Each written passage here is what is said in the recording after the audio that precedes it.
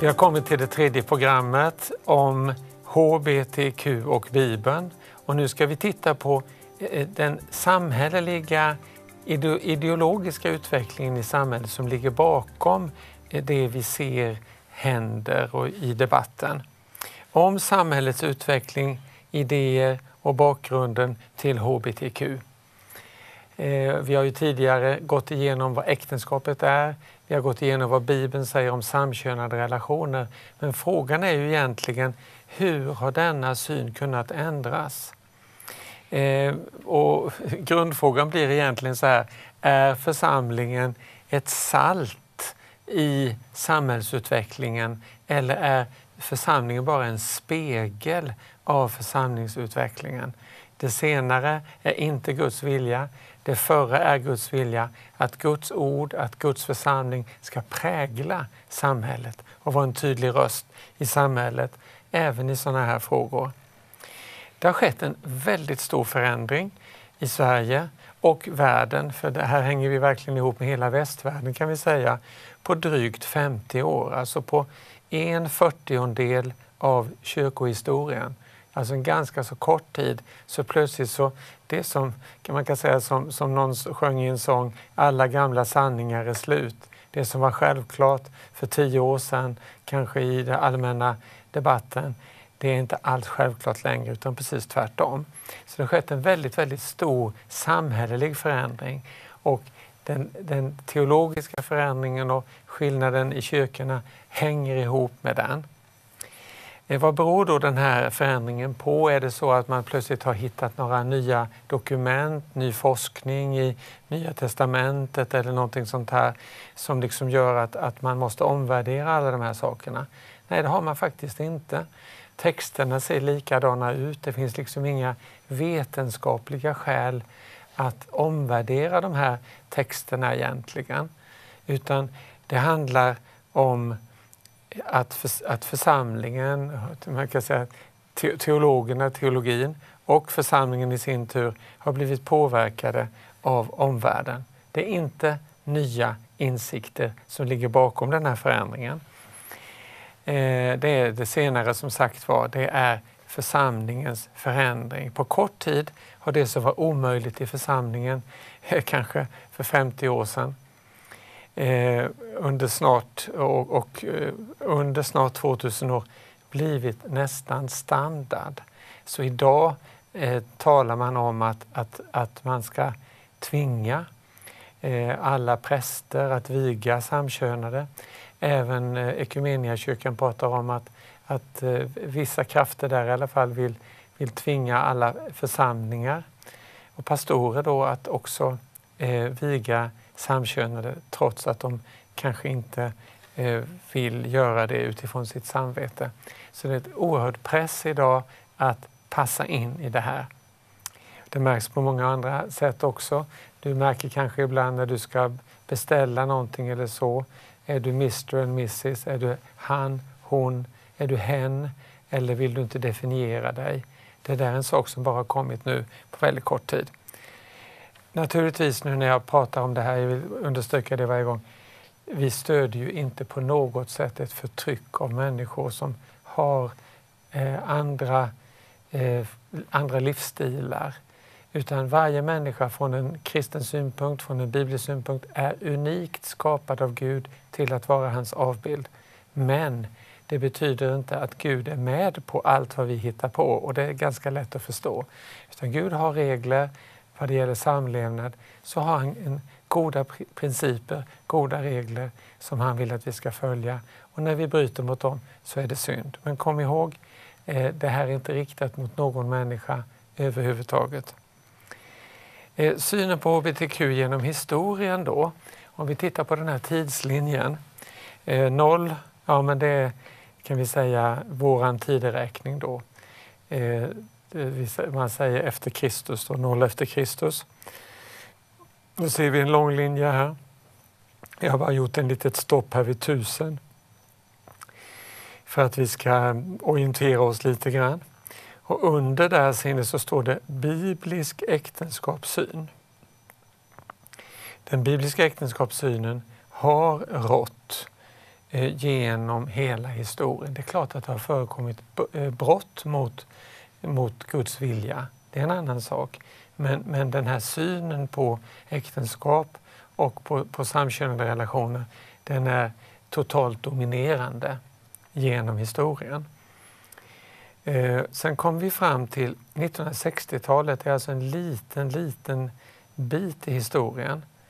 Eh, så står det den sexuella revolutionen. Det är ju, ja, låt oss säga 60 till idag. Vi, då pratar vi väl om 60 år, men det är något i slutet på 60-talet. 50-60 år så har den här utvecklingen fortgått. Men då börjar den ju kan vi säga, vid filosofernas skrivbord faktiskt. Den börjar inte publikt, den börjar inte överallt utan börjar med att, att eh, några filosofer, särskilt faktiskt franska filosofer här, har haft jättestort inflytande för att tänka om.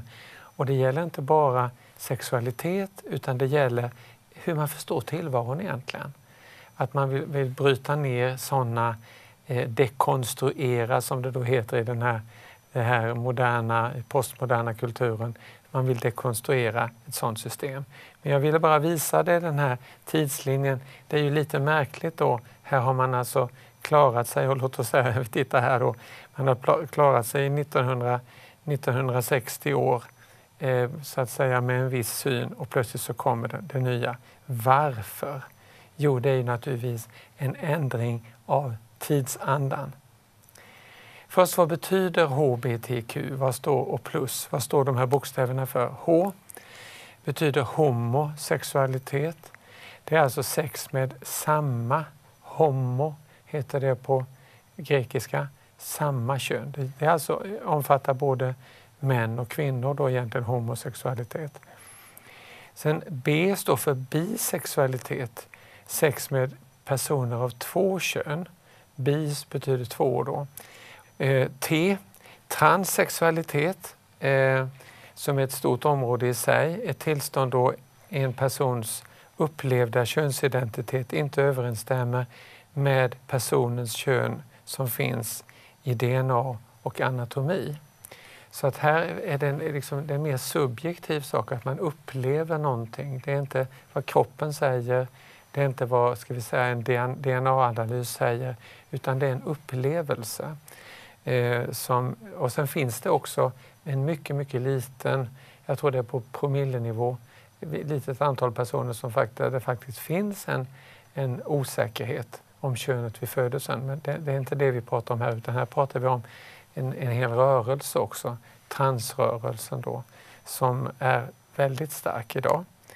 Och Q, vad är det då? Jo, Q betyder queer Queer det är ett ord som från början faktiskt var ett skällsord. Det är väldigt ofta så det blir med sådana här saker men som man sen tar till sig och, och kallar sig själv för queer. Det betyder väl egentligen lite udda, lite annorlunda. Eh, och vad är queer då? Jo, det är en normkritisk syn på sexualitet och på heteronormen, detta att det faktiskt ska vara en man och en kvinna som, som är tillsammans. Och här vill man bryta upp hela normsystemet så att säga och öppna upp då för för egentligen vad som helst faktiskt och det visar sig det. Och särskilt då när man kommer till plusset, HBTQ+. För plus det står för en rad andra könsidentiteter. Och sådana finns väldigt många definierade nu. Det är inte så att, det, att anatomin ser annorlunda ut för det. Utan det är så att, att eh, man, det finns en mängd olika förslag på detta. Facebook har jag vet inte, 85 olika. New York City har tror jag 31 erkända könsidentiteter. Detta är alltså de här orden vi talar om. Den sexuella revolutionen får ett genombrott på 1960-talet och den kallas också för den sexuella frigörelsen.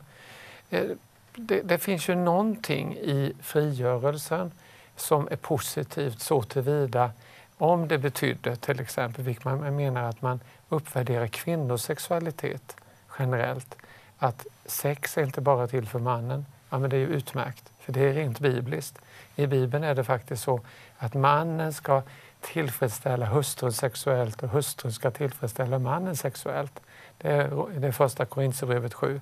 Total ömsesidighet. Så det där är ju, är ju riktigt och det är säkert bra med, med viss upplysning och, och så vidare, preventivmedel och allt det som, som, eh, som eh, behövs för ett fungerande sexualliv. Men i det här med sexuell frigörelse ligger väldigt, väldigt mycket mer. Nämligen att man bröt ner de traditionella normerna.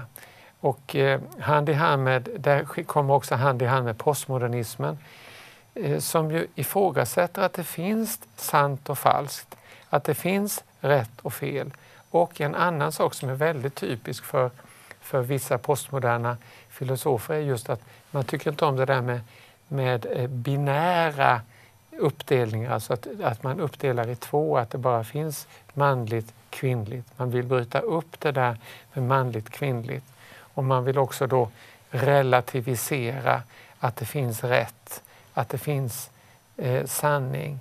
Och man kan säga också så här att det är mycket känslomässigt, det är mycket känslomässigt, det är mycket att känslan, erfarenheten, upplevelsen kommer i centrum på ett helt annat sätt än i ska vi säga, modernismen. Modernismen är mer vetenskaplig, noga med argumentationen och så vidare. Den har sina svagheter, men den är bra på så sätt. Eh, men postmodernismen eh, suddar ut det här och vill inte ha det här absoluta. Man säger inte det finns en sanning, man säger, säger det finns många sanningar. Vilken är din sanning? Eh, nu är det inte så att det finns från biblisk synpunkt många sanningar eh, utan det finns en sanning. Guds ord är sant, vad Guds ord säger är sant, vad Guds ord säger är vårt enda rättesnöre som visar oss vägen hur vi ska gå. Så flera av de här postmoderna filosoferna nu var och är också normbrytande i sin egen sexualitet. Michel Foucault, det är ingen hemlighet, som förresten levde i Uppsala under en period. Det är ingen hemlighet att han var en, ska vi säga, en gränsöverskridande eh, homosexuell i sin, i sin praktik. Det vill säga att han, han ville testa gränserna så säga, för sexualitet. Och han kan vara lite av ett, ett helgon i vissa ska vi säga, sådana här Pride-sammanhang eller så. Det finns en bok som heter Saint Foucault. Det är väl med lite humor men man liksom eh, presenterar honom då som en, ett, ett föredöme. Simone de Beauvoir som också var en, en, en banbrytare. Eh, hon var ju själv också bisexuell eh, och eh, det finns i alla fall eh, belagt att hon också hade vissa pedofila drag. Och så har vi Judith Butler som är nu levande, eh, något yngre än jag själv, eh, professor i USA. Eh, och hon är också då en, en, ja, hon berättar själv om hur hon kom ut som, som lesbisk i tonåren. Jag säger inte detta nedvärderande men jag tycker det är väldigt intressant och viktigt att se att det finns en koppling här mellan den egna sexualiteten, det ena behovet av att ska säga, bryta normer och den filosofi, de tankar man formar. Butler som är född 56 då, med flera menar att kön är konstruktioner. Och eh, den som mest kända som säger detta det är Simone de Beauvoir som säger så här, man föds inte till kvinna, man blir det. Det vill säga själva skapnaden då. Nej, men det är liksom en annan sak. Utan man blir kvinna. Eh, och eh, hon har ju skrivit en en väldigt berömd bok som är lite grann en feministisk bibel också som heter Det andra könet. Jag har läst den. Eh, jag kan inte säga att jag tyckte den var särskilt klar eller uppbygglig eller klargörande. Men rent ska säga, idéhistoriskt är den viktig, ett viktigt dokument i de här frågorna. Judith Butler Eh, med henne har kan man säga verkligheten flyttat från det vi kan se på, från det biologiska, det vi kan ta på, det vi kan beskriva till tankar, teorier och känslor. Det är inte så att de här eh, filosoferna är dumma utan de är väldigt, väldigt teoretiska. Jag skulle vilja säga från min horisont, jag är ändå vetenskapsman, har levt i vetenskapssamhället i sådär en 45 år eller någonting sånt där. Eh, jag måste säga att jag tycker de här, flera av de här är överteoretiska, krångliga, svårförståeliga. Eh, och eh, här är det intressant och hur på något sätt man överteoretiserar saker och ting. Men här går det också från biologi, från vad vi faktiskt är om vi tittar på våra kroppar. Alltså du har ju den här roliga bilden på, på två små nakna barn som står och tittar på varandra, en pojke och en flicka. Och så tittar flickan på pojken och, och hur han ser ut då så att säga. Och det är tonstigt. Alltså att vi kan se hur den andra ser ut. Men, men här släpper man biologin och så går man till upplevelsen eller det man, det man vill, hur man vill definiera sig. Man går från fysiken, hur det fysiskt ser ut, hur det fysiskt är skapat, till ordens makt. Det blir så att säga performativt som det heter med ett filosofiskt ord och språkvetenskapligt ord. Att man, man, genom att uttala jag är man så blir man man så att säga. Eller att vad jag säger, hur jag definierar mig själv har en väldig kraft. Och det blir lite grann eh, mind over matter kan man säga, lite grann det man har kritiserat scientologerna för. En slags mind over matter då, att, att, eh, alltså tanke över det materiella. Att man genom bara tankarna här skulle man kunna eh, ändra någonting. Eh, det kan man ju inte göra biologiskt men det här är tankar som är väldigt, väldigt dominanta idag eh, och har eh, stor makt. Eh, och eh, tittar man på kurslistor på universitet och sådär så, så ser man eh, väldigt ofta Foucault, är väldigt viktig. Derrida ser man inte så ofta för att han är så otroligt krånglig att läsa så det är inte så lätt att använda det materialet. Butler är väldigt, väldigt vanlig i all, allt, all den här genusteorin och så vidare som finns. Men den här, det filosofiska tänket bakom gör att fältet är fritt för att definiera sig själv. Och som jag nämnde tidigare, i New York City, som är då som en juridisk enhet, där finns det då, tror jag, om det nu är 31 stycken eh, könsidentiteter som är officiella. Så man, man har alltså rätt att definiera sig på det här sättet. Och det kan vara att man är asexuell, det kan vara att man är intrasexuell. Det finns en massa olika eh, definitioner. Jag har inte listan här just nu, men detta kan man googla på. Så att, eh, men det här är naturligtvis utifrån hur vi har sett på skapelsen, hur vi har sett på, på hur, hur, hur Gud har en plan med könen, hur Gud har en plan med, med anatomin, hur Gud har en plan med eh, sexualiteten, fortplantningen, äktenskapet, så ser vi nej det stämmer inte. Va? Det här är något som är helt otänkbart i en biblisk kontext. Ändå finns det då i teologiska sammanhang, det finns till och med sådana som kallar sig bibeltrogna, sådana sammanhang där man till exempel kan använda de här termerna HBTQ. Eh, vilket är ganska märkligt egentligen utifrån en biblisk utgångspunkt. Vad får det här då för konsekvenser? Ja, eh, biologiskt kön gäller inte längre. Man kan bortse från hur personen är skapad, både sexuellt och vad det gäller fortplantning. Eh, känslan har tagit över, som jag nämnde tidigare. Känslan, upplevelsen, hur man själv tänker eh, har tagit över istället för förnuftet. Upplevelsen istället för bio, ett biologiskt faktum. Eh, könsbyten har exploderat under en period och det, det såg vi det bara senare år. Särskilt med bland unga människor och människor som eh, också väldigt många, jag har inga siffror på detta, men som också kan ha en underliggande eh, kanske psykiatrisk diagnos. Men det blev så pass mycket av detta med alltså könskorrigerande åtgärder både med, med medicinering, med testosteron och så vidare. Men också med att man opererade könsorgan. Så att nu har man kylt ner den här processen. Det finns idag eh, vittnesbörd om sådana som vill byta tillbaka. Men det går inte att byta tillbaka fullständigt. Man kan inte skapa eh, så att säga fullt fungerande. Enligt min, min auktoritet, jag frågade som är fysiolog, eh, medicin, medicinedoktor, så kan man inte skapa ett manligt könsorgan utifrån en kvinnlig kropp eller ett kvinnligt könsorgan utifrån en manlig kropp som blir fullfungerande. Fullfungerande sexuellt, fullfungerande eh, fortplantningsmässigt. Men det här har ju blivit en stor sak och den, den är ju direkt beroende då av den av den här teoribildningen som ligger bakom, som har öppnat dörrarna för det här tänkandet.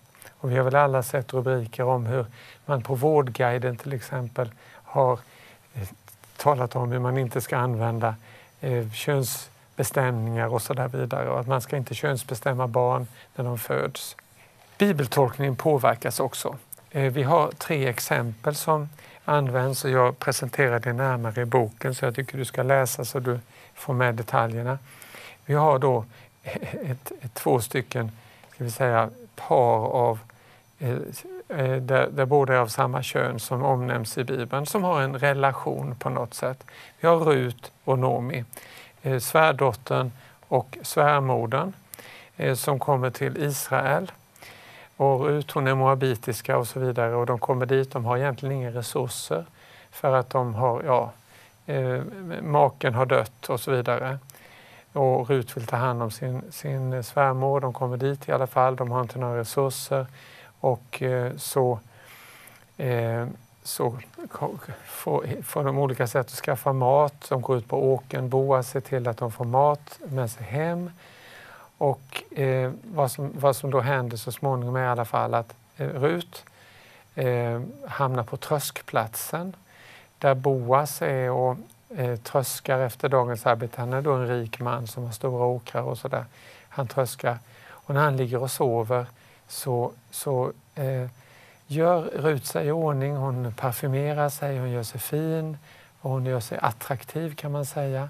Eh, på, på, Rut gör detta på Nomis inrådan och så lägger hon sig vid, vid fötterna eller kanske, eh, ja, man kan tolka de där orden på lite olika sätt. Men i alla fall under Eh, bredvid Boas när han ligger och sover. Eh, det här, den här berättelsen har använts faktiskt och används också i ritualer för samkönade äktenskap och sånt så som skulle det vara en, en, en homosexuell eller lesbisk relation då mellan Rut och Nomi. Eh, och man hänvisar till detta och jag har ju hittat detta bland annat då i ett studiematerial som olika eh, kristna organisationer har gett ut. Eh, men, men är det här hållbart? Eh, att, att Rut och Nomi hade någon typ av sexuell relation? Det finns faktiskt absolut ingenting i texten som stöder det. Däremot är det helt klart att Rut, hon närmar sig eh, Boas. Hon gör sig fin, hon närmar sig, hon visar sig attraktiv för Boas. Inte att de har sex där, för det hade de inte. Det skulle de inte ha. Men däremot så leder detta till att Rut och Boas gifte sig och det står tydligt faktiskt att efter att de hade ingått kontraktet där så eh, gick han in till henne som det heter och så får de barn och det resulterar så småningom då i att, att det blir Davids, Rut blir Davids stammoder. Eh, det andra är David och Jonathan som är en, en varm relation mellan två unga män eh, som, som är så varma. De, de älskar varandra, står det. Och de liksom är tillgivna varandra och de betyder jättemycket för varandra och så vidare. Det finns liksom inga tydliga tecken på att de har en sexuell relation Eh, i texterna. Men de har en varm relation. Det är alltså något så fint som två killar, två pojkar som har en jättefin relation, två unga män. Vi är vana vid att kanske tjejer kan ha det att man kan ha sina, sin bästis och sådär och man kan ha det hela livet kanske när man pratar jättemycket med och är nära. Vi tänker ju inte att alla, om vi ser två kvinnor som är jättegoda vänner, tänker inte vi att de är lesbiska automatiskt. Det gäller likadant här. Här skäl man alltså genom att göra dem, till, bort, bortsett från texterna, genom att göra dem eh, till då ett, ett ett samkönat par, så skäl man tanken att Nej, men här kan två pojkar ha en mycket varm relation. Mitt tredje exempel det är eh, att det faktiskt stod i den här boken, skrivet av en präst, och det chockade mig, som ville argumentera då för att, att Jesus skulle stödja, för det första att centurionen i Kapernaum, att han skulle ha eh, pedofila relationer med sina tjänare och med den här tjänaren som blev sjuk och att Jesus inte skulle protestera mot det utan att han skulle, att genom att inte protestera mot det skulle Jesus stödja en pedofil relation. Detta är naturligtvis totala fantasier, det finns inget stöd i texten. Men det här visar hur tokigt det kan bli när man går in på det här sättet. Så sammanfattningsvis, den sexuella revolutionen har ingen täckning i Bibeln och är i många avseenden ett uppror mot kristen äktenskapssyn. Den går hand i hand med postmodernismen som ifrågasätter rätt och fel, sant och falskt. Den lämnar biblisk skapelsesyn som utgår från könet och hur de kompletterar varandra. Könen och hur de kompletterar varandra både sexuellt och socialt. Och den här synen öppnar dammluckorna för en rad helt obibliska sexuella praktiker av vilka homo och bisexualitet bara är början. När börjar församlingarna viga polyamorösa grupper? Alltså sådana som säger att ja, vi älskar varandra vi tre eller fyra eller fem och vi skulle vilja ha en vigsel. Frågan är när det kommer.